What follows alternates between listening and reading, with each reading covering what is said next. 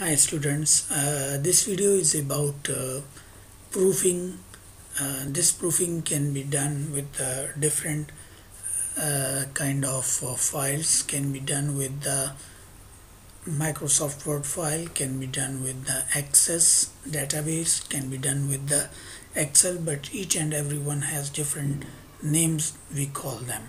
So when we are talking about the proofing, we are actually looking for grammatical or spelling mistakes and our data entry mistakes into our document.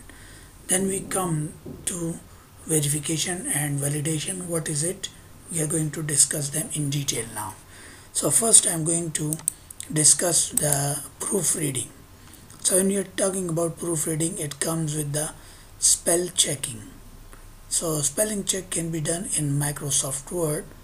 So if we just uh, go through this uh, grammatical check in uh, one of the activity here we have provided by the so in into the source files here.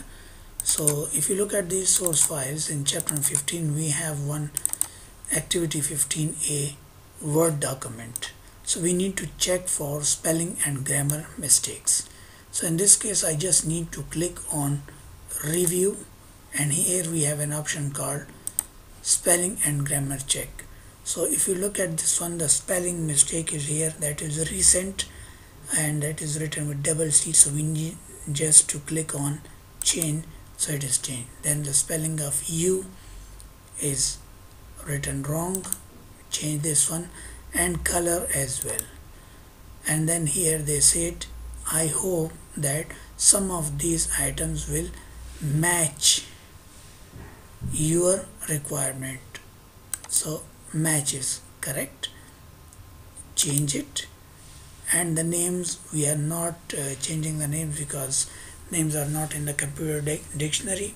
So it is not identifiable so we just ignore it. The spelling and grammar check is complete. So this is how we perform the spelling and grammar check in word document. We'll have one more video in which we will discuss about the validation and verification as well. Thanks for watching this video. Subscribe the channel for more updated videos. And don't forget to write any question if you have in your comments